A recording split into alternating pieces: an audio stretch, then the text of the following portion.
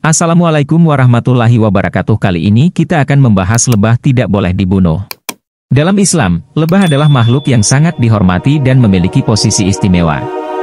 Larangan membunuh lebah dalam Islam didasarkan pada beberapa faktor penting, baik dari perspektif Al-Quran maupun hadits, serta manfaat ekologis dan medis yang mereka berikan. Berikut adalah penjelasan lebih rinci mengenai hal ini. 1. Perujukan Al-Quran Al-Quran mengakui keistimewaan lebah dalam surah An-Nahl, lebah, ayat 68-69, yang artinya, Dan Tuhanmu mewahyukan kepada lebah, buatlah sarang-sarang di bukit-bukit, di pohon-pohon kayu, dan di tempat-tempat yang dibuat manusia. Kemudian makanlah dari tiap-tiap, macam, buah-buahan dan tempuhlah jalan Tuhanmu yang telah dimudahkan, bagimu. Dari perut lebah itu keluar minuman, madu, yang bermacam-macam warnanya, di dalamnya terdapat obat yang menyembuhkan bagi manusia. Sesungguhnya pada yang demikian itu benar-benar terdapat tanda, kebesaran Allah, bagi orang-orang yang memikirkan. Ayat ini menunjukkan bahwa lebah adalah makhluk yang menerima wahyu dari Allah dan berperan penting dalam kehidupan manusia melalui madu yang dihasilkan, yang memiliki khasiat penyembuhan.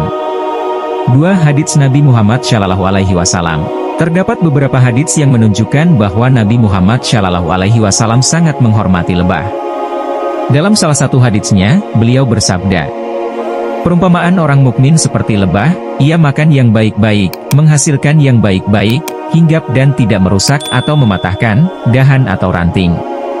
HR Ahmad dan Hakim Hadits ini menggambarkan bahwa lebah adalah makhluk yang baik dan bermanfaat, mirip dengan karakteristik yang diharapkan dari seorang mukmin.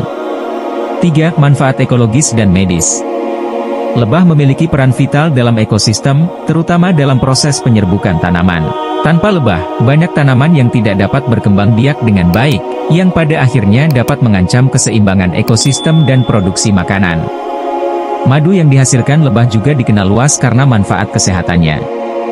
Madu mengandung banyak nutrisi dan memiliki sifat antibakteri dan anti jamur yang dapat digunakan dalam pengobatan berbagai penyakit.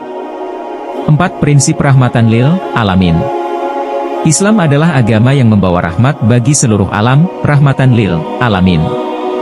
Ini termasuk memperlakukan makhluk hidup dengan kasih sayang dan tidak merusaknya tanpa alasan yang sah. Membunuh lebah tanpa alasan yang sah bertentangan dengan prinsip ini karena lebah adalah makhluk yang memberikan banyak manfaat. 5. Etika dan adab dalam Islam Islam mengajarkan umatnya untuk hidup dalam harmoni dengan alam dan menghormati semua makhluk hidup. Ini termasuk tidak membunuh hewan yang tidak berbahaya dan bermanfaat, seperti lebah. Menghormati dan menjaga kehidupan lebah adalah bagian dari etika dan adab seorang muslim dalam menjaga ciptaan Allah.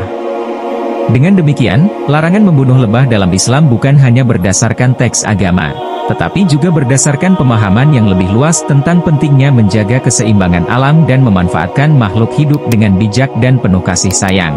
Apa yang kami sampaikan semoga bermanfaat.